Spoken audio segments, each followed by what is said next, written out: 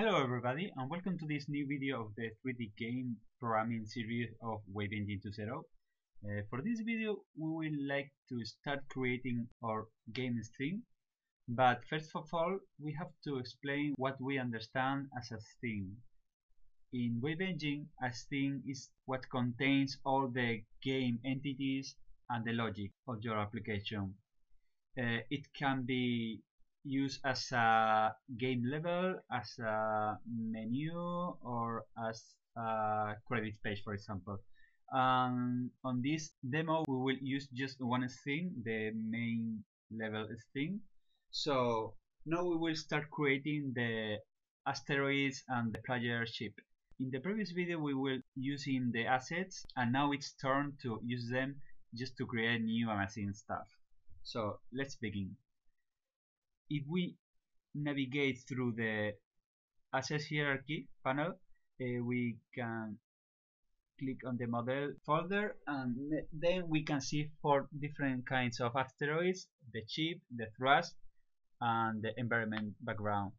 We can create a new entity in several ways. The easiest one is just clicking on the assets and dragging into scene like this a new asteroid will be created uh, in this place.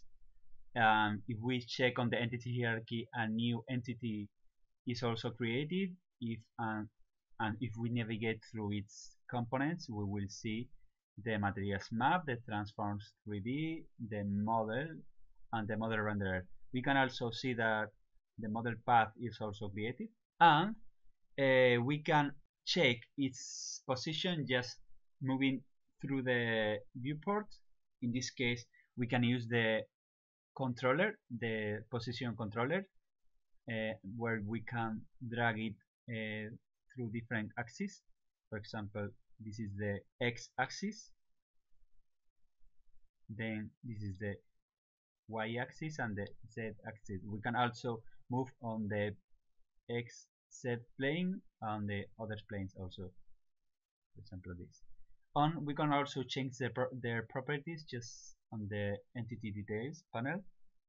So let's place in the zero point.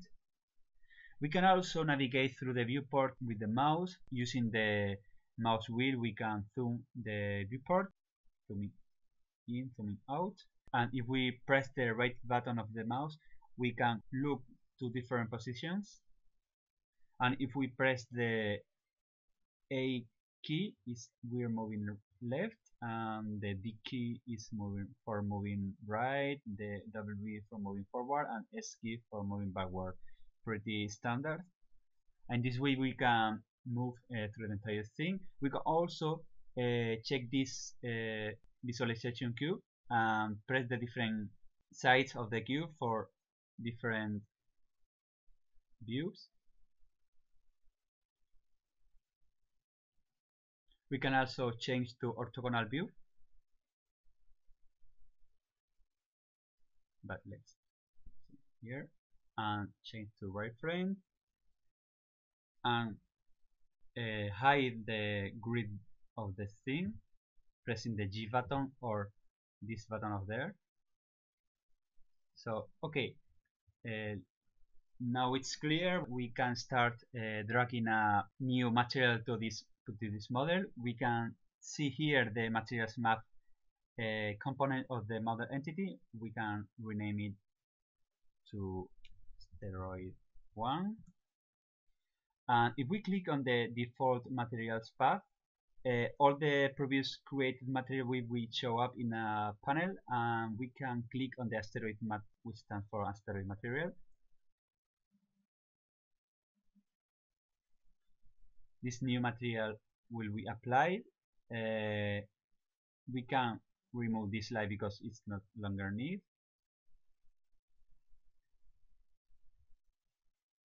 You can see the, the asteroid is pretty cool.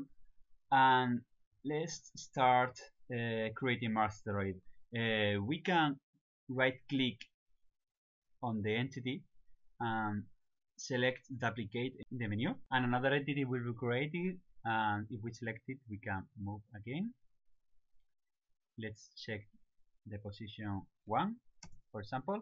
Then we can change its model. For example uh, in the model uh, model component we click on model path slot and we can check the asterisk 2 model. Another model we created. And another way to duplicate in a model is just copy and paste. For example control control C and control V. Another asteroid we will create it and we can also change its model clicking it and selecting the asteroid 3 and again we can paste again the same model and move to another place and the same. Change it asteroid 4 at any moment we can save the project just clicking Ctrl S or uh, clicking this button over there on the save project. Now if we click in the camera 3D entity we can see the, the asteroids here. Uh, we can we can move the camera and its previsualization frame will update with its movement. If we see the, the components of the camera, we can check the background color and change it with a black, space black, and uh, change its default movement, but let's stay like that. Um, if we click into the simulate button here. We can see how the scene is going. Can change the camera. Stop. And if we click on the build button the project will recompile and show up a new window with the standalone application. Here we see the same thing but in compiled application.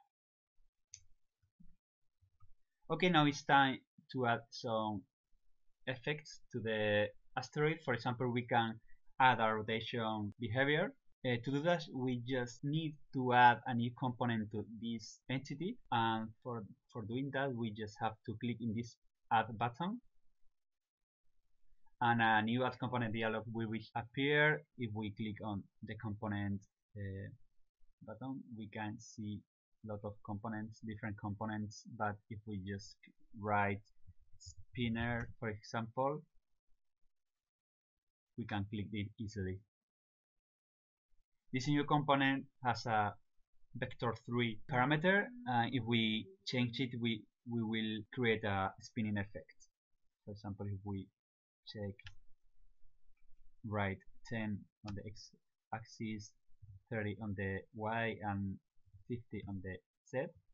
And we click on simulate. We can see the asteroid spinning around. The same with the rest entities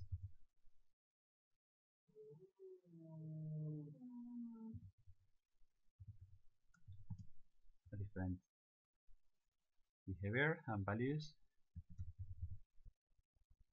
Let's add 40 80 and 60 and for this one let's add 13 to 83 my birthday. And we can see that every asteroid is spinning around in a different way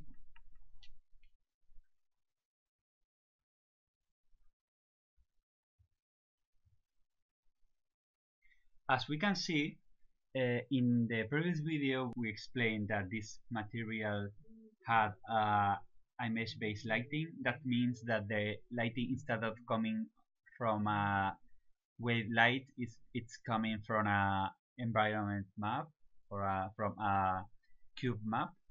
So we can have this kind of soft illumination. Okay. Now it's turn to create the chip and for doing that uh, we can do exactly the same. We can drag this model into the scene or we can create a new primitive. For example we can create a cube here. It's black because we don't have lights. Um, in the model path we can change it in for the chip. The model it's too big we can see so we can make it smaller for example to the 10th can move here. If we change to wireframe we can see it better. And now it's time to create its materials because only we only create this environmental math and we need to create its material for that we just have to click on create material in this material folder and start adding its textures. For example on the diffuse path we can click on chip diffuse. On the specular path we can add the chip specular. And on the ambient path we can add the space IBL the image based lighting cube map um, I think it's pretty nice for now. We click on create and we rename to chip mat that's material we created and then if we click on the entity we rename to chip. We also can uh, set its textures and this model has uh, the particularity that it has two textures. So for setting them we can't just select in the default material path. So we have to create the, the materials dictionary just clicking here. Uh, the, then the materials map dialog will be shown. Then we click on add material and select the different sub mesh of the object chip mesh and then we click on the material. Then we select the next the glass one. So we click on it. And voila here we have. This is the the ship as we expected. If we click on the camera now and move accordingly to view the ship we can change its orientation. We click on the press on the simulate button we can see the chip this, the ship on the screen with the asteroids spinning around. And in the next video we will create the redstone environment with a, we will add the thrust effect the the, the engine thrust um, we will start creating really cool things. So thank you very much for watching it. I hope you enjoy it. Stay tuned for the next video and I hope you liked it and thank you very much.